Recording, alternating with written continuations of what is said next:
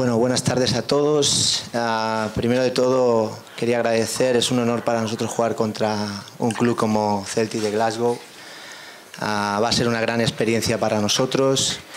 Creo que, que, es una oportunidad para que los chicos entiendan mejor cómo es el fútbol en Europa. Uh, y lógicamente contra un equipo de un grande de las islas, eh, para mí el mejor equipo de Escocia. La verdad que estamos muy motivados y queremos hacer un buen partido para que nuestra gente disfrute porque no, no se juega cada día con, contra un club como Celtic. Hi, just uh, I want to say we're very uh, happy to be here to play our second game of our uh, Japanese tour. Uh, our first game was uh, was a very good exercise, and it's a game that uh, we accepted. And um, as I said, we, we gained a lot from, and we expect the same from the game tomorrow. Uh, playing against a very good team, uh, very well coached, technically very good, and uh, will be another really uh, important exercise for our fitness towards the beginning of the season. So, uh, so we look forward to playing in the stadium, which is very nice, and uh, look forward to the game. まあ、セルティックというクラブは日本でもものすごく有名だと思いますし、えー、偉大な伝統を持った、えー、クラブだと思います、えー、そういうクラブと明日 えー、プレシーズンマッチではありますけどあの試合ができるということはすごく僕らにとっては、えー、光栄なことですし、えーまあ、本当にチームとしても個人としても楽しみながら、えー、全力でいいトライができるように、えー、明日はしたいと思います。本当に今ガンバさんは勢いがあって調子が良くていい選手がいて本当に、うん、